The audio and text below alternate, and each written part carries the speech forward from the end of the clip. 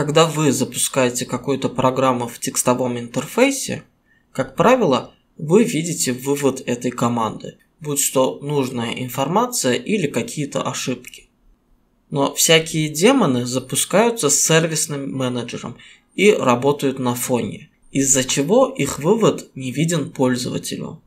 Как я говорил, настройка и обеспечение работы демонов – одна из главных задач администратора.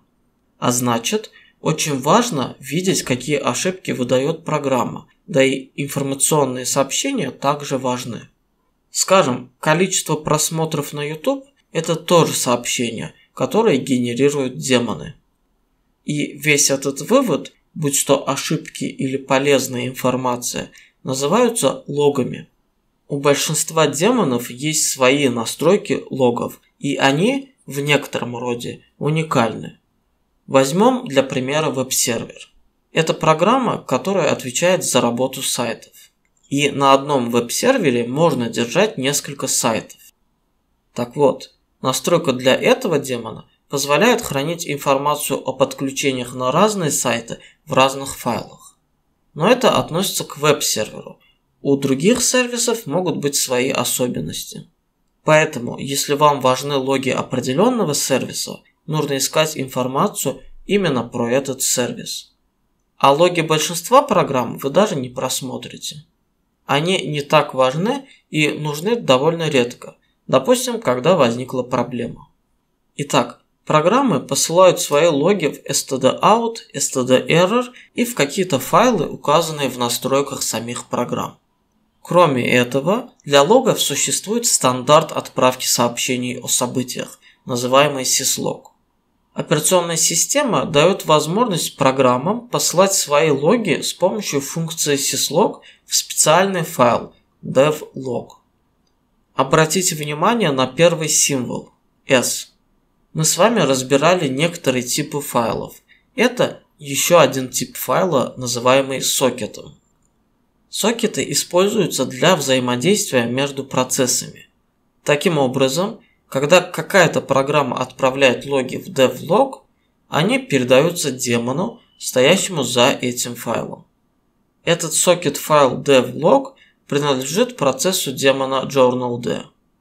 Journald – это программа, отвечающая за логи. Кроме syslog сообщений, journald также перехватывает stdout и stderror сервисов, которые запущены в systemd. До journal-d основным демоном для syslog был rsyslog. Собственно, он стоял за devlog и собирал все логи. А дальше, на основе своих настроек, решал, что делать с этими логами. Писать в файлы, выводить на экран, посылать по почте и все такое. На самом деле, rsyslog и сейчас работает вместе с journal-d. Только теперь логи собирают journal-d, а потом делятся ими с rsyslog.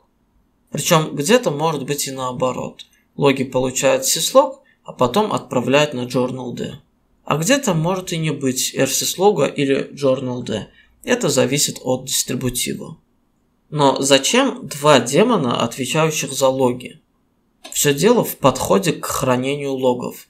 rsyslog при получении логов смотрит параметры лога и на основе этого записывает их в различные файлы в директории var log. К примеру, почти все логи от rsyslog записываются в файл var log messages. То есть это просто текстовые файлы, которые можно прочесть и обработать с помощью различных утилит и скриптов.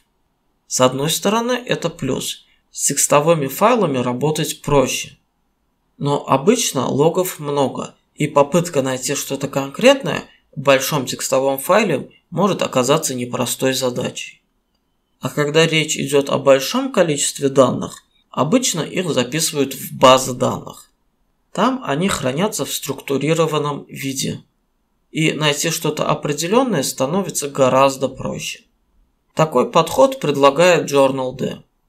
При этом получается более гибко работать с логами – но логи перестают быть текстовыми и появляется зависимость от определенной утилиты, которая и работает с логами. И если на домашнем компьютере это не так критично, то в компаниях могут быть ситуации, когда какие-то задачи связаны на скриптах, которые ориентируются на текстовые логи. И просто отказаться от текстовых логов будет слишком болезненно. Еще важный момент. Компаниях зачастую стоят централизованные syslog сервера, на которые посылаются логи со всех серверов и различного оборудования. И для посылки логов syslog на централизованный сервер по сети нужен демон, который это поддерживает. У JournalD с этим неопределенность.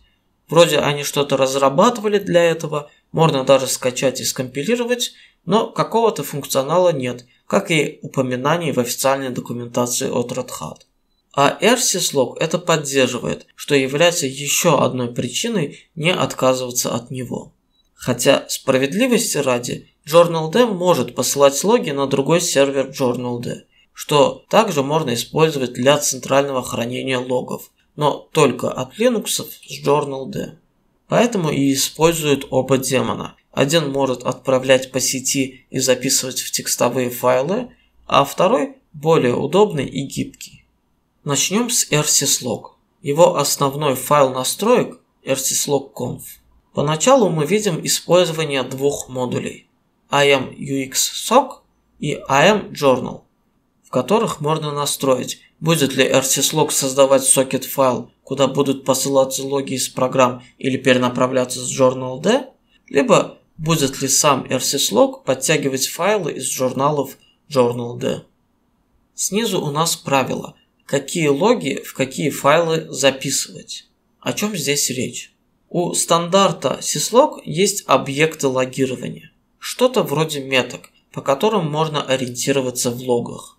Например, kern, по нему можно понять, что логи относятся к ядру. Либо mail, логи, связанные с почтой. Также есть 8 объектов, от local 0 до local 7. Это кастомные, которые можно использовать в своих целях. Например, для своих скриптов или программ, которые не подходят под перечисленные. Кроме объектов есть уровни серьезности.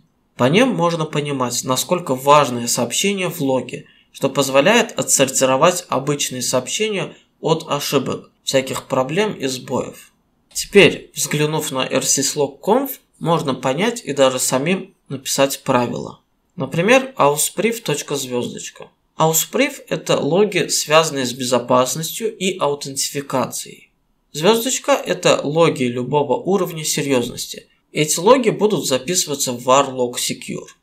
Или, например, первая строчка звездочка .info mail non, auspriv non, cron non логи любых объектов уровня серьезности инфо, кроме тех, что связаны с почтой, аутентификацией или планировщиком задач cron, будут записываться в varlog messages. Обратите внимание на дефис перед varlog maillog. Он говорит о том, чтобы не записывать на диск изменения при каждом новом логе.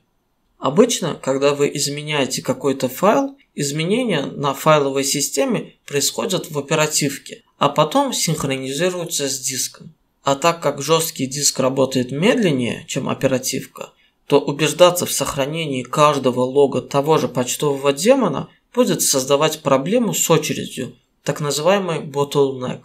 Для этого и нужен дефис перед файлом. Так, новые логи будут копиться какое-то время в оперативке, прежде чем разом записаться на диск.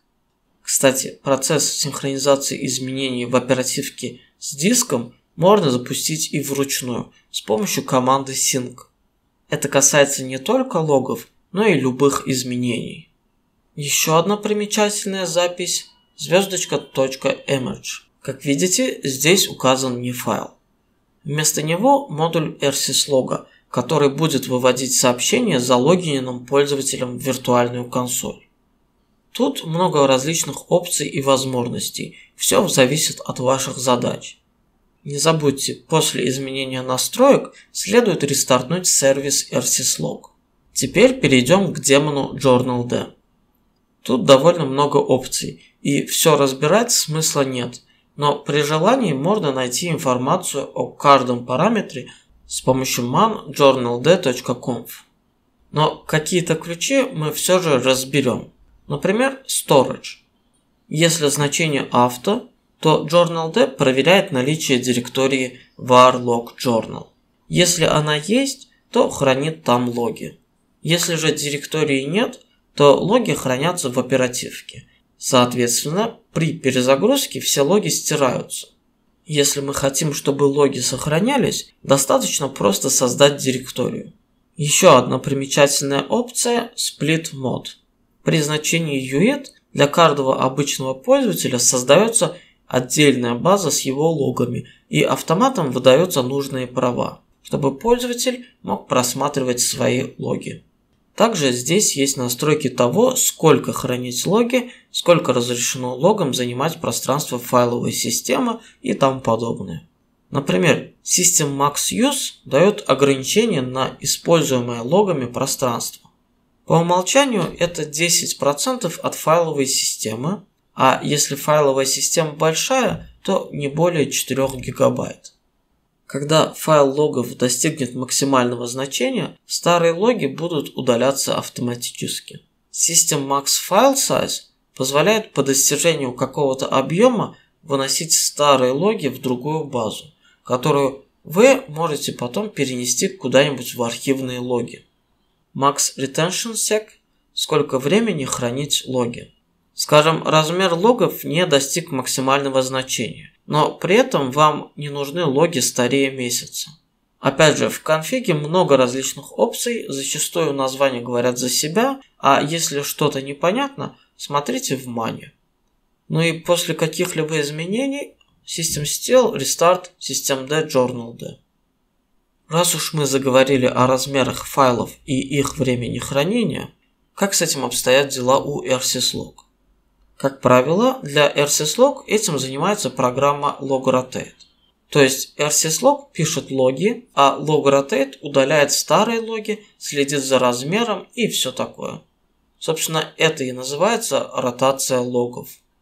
У LogRotate есть основной файл настроек logrotate.conf. Здесь обычно хранятся значения по умолчанию. Например, weekly по умолчанию logrotate будет ротировать логи раз в неделю. Rotate 4. Ротации будет 4. Для примера посмотрим содержимое var log. Например, var log secure. Лог недельной давности logrotate переименовал в другое название и вместо него оставил чистый secure. И так он делает 4 раза каждую неделю. Когда старых логов уже будет 4 и понадобится опять ротировать, он удалит самый старый лог, чтобы у нас старых логов было на месяц. Собственно, Rotate 4 об этом и говорит. А опция DateExt, как вы видите, добавляет к старым логам дату их ротации. Но выше были лишь дефолтные настройки, а к каким логам они применяются и кастомные настройки этих лог-файлов указываются в директории etc logrotate.d. Для примера посмотрим syslog. И здесь мы видим, что для такого-то списка файлов применяются такие-то опции. В фигурных скобках мы можем поменять дефолтные настройки на свои. Например, выставить количество ротаций, периодичность и тому подобное. Тут также можно задать какие-то скрипты, которые будут выполняться перед или после ротации, так как некоторые сервисы могут этого требовать, чтобы увидеть новый файл. Теперь касательно просмотра логов. Для этого используется утилита JournalKTL. Обычный пользователь может смотреть только свои логи. Для системных логов понадобится sudo. Впрочем, можно настроить права на файлы логов, чтобы пользователи какой-то группы, например, Systemd Journal, могли просматривать все логи. Просто запуск JournalKTL выведет вам огромное количество логов, что редко нужно. Чаще всего важнее посмотреть логи за последнее время. Journal KTL-E. Итак, что мы видим обычно в логах? В первом столбце дата и время лога. Во втором – имя компьютера. В третьем – программа, которая отправила этот лог, а также ее процесс ID. Ну а дальше само сообщение лога. Еще чаще нужно смотреть логи по какому-то сервису. Причем не все логи – а только последние. Здесь под U имеется в виду Unit Systemd. Чтобы посмотреть логи в реальном времени, по мере их добавления, следует использовать ключ F. Опять же, комбинируем с каким-нибудь юнитом для удобства. Можно посмотреть логи запуска операционной системы. Ключ B. Также можно гибко выбрать временной промежуток, настроить формат вывода, уровень серьезности и тому подобное. Но разбирать или учить все ключи нет необходимости, так как всегда можно посмотреть документацию и найти нужное для конкретной задачи. Ну и напоследок, есть утилита Logger, которая позволяет вам отправлять логи в syslog, что можно использовать, например, в скриптах или для тестирования работы syslog сервера. Подводя итоги, мы с вами разобрали логирование в Linux, поговорили про работу демонов rsyslog и journald, про ротацию логов с помощью настроек journald и утилита logrotate, затронули утилиту sync, а также рассмотрели утилиту journal.ktl. Умение работать с логами очень важно для администратора. Это основа его работы.